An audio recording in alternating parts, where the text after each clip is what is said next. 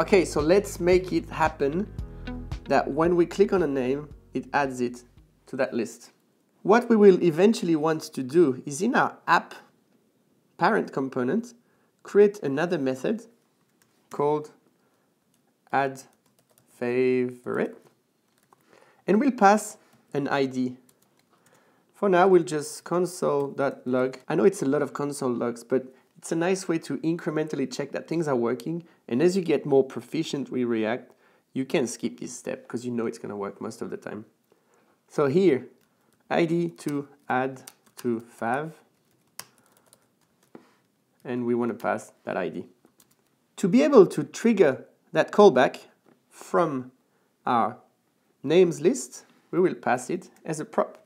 Add favorite equals this that state that add favorite.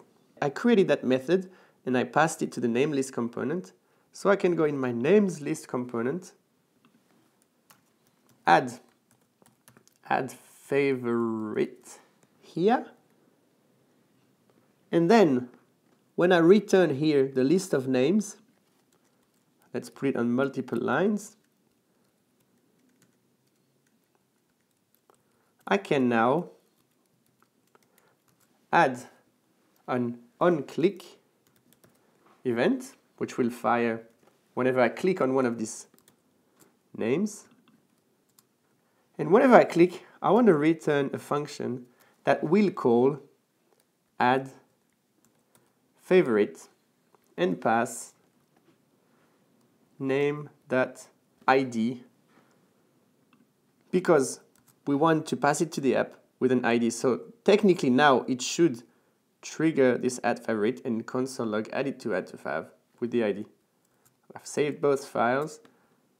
Let's give it a go. Tobias. Boom. Add favorite is not a function.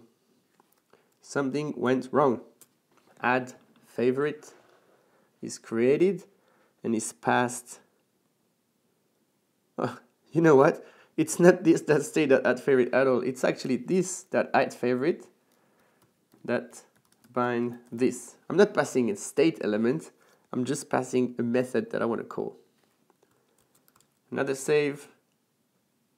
And now it should work. Let's try Caroline. Boom. Number seven. Number one should be Aria. Oh, Logan. Number four. Beautiful.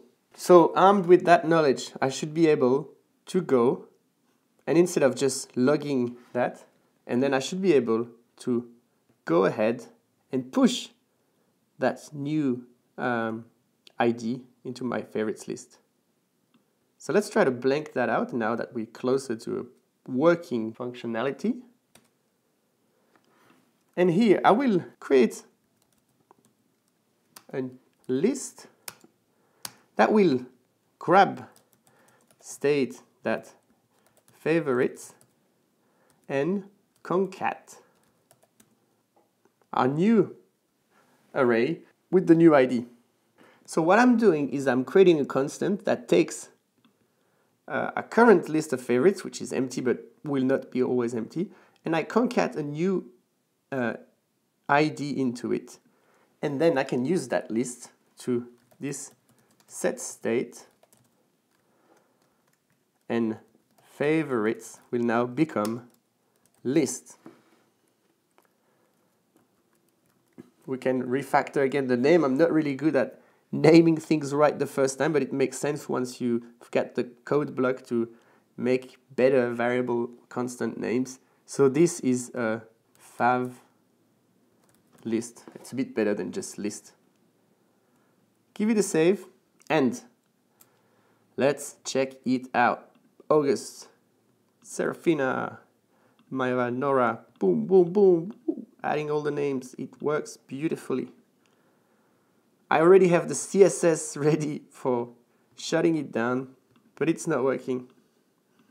We'll check that in next video. And also, one thing we want to add is if I click on Aria, I want Aria to be gone from that list because I don't want to click again and what's happening and see that's gonna trigger some problem because now we get two React elements with the same key.